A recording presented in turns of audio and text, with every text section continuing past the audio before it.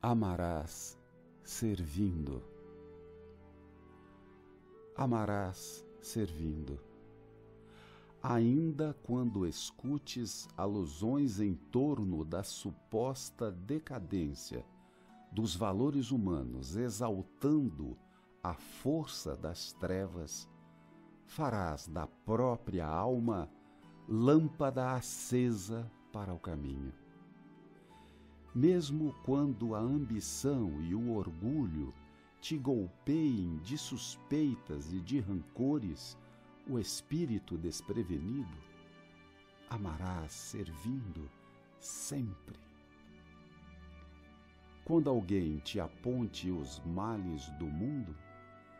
lembrar-te-ás dos que te suportaram as fraquezas da infância dos que te auxiliaram a pronunciar a primeira oração, dos que te encorajaram os ideais de bondade do nascedouro e daqueles outros que partiram da terra, abençoando-te o nome, depois de repetidos exemplos de sacrifício, para que pudesses livremente viver. Recordarás os benfeitores anônimos que te deram entendimento e esperança, prosseguindo fiel ao apostolado de amor e serviço que te legaram. Por isso, não te deterás na superfície das palavras Colocar-te-ás na posição dos que sofrem, a fim de que faças por eles tudo aquilo que desejarias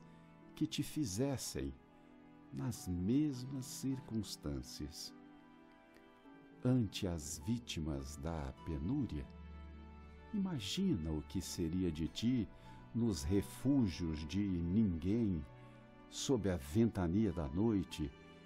carregando o corpo exausto e dolorido, a que o pão mendigado não forneceu suficiente alimentação. Renteando com os doentes desamparados, reflete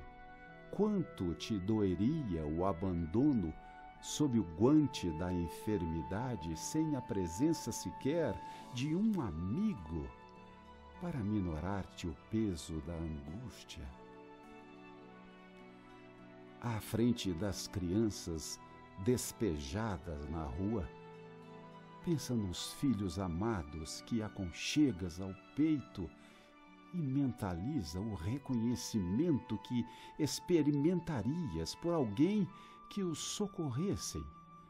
se estivessem desvalidos na via pública e perante os irmãos caídos em criminalidade. Avalia o suplício oculto que te rasgaria as entranhas da consciência se ocupasses o lugar deles e medita no agradecimento que passarias a consagrar aos que te perdoassem os erros, escorando-te o passo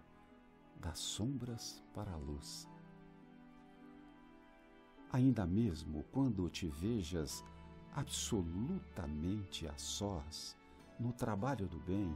sob a zombaria dos que se tresmalham temporariamente no nevoeiro da negação e do egoísmo, não esmorecerás. Crendo na misericórdia da providência divina, e nas infinitas possibilidades de renovação do homem, seguirás Jesus, o Mestre Senhor, que entre a humildade e a abnegação nos ensinou a todos que o amor e o serviço ao próximo são as únicas forças capazes de sublimar a inteligência para que o reino de Deus se estabeleça em definitivo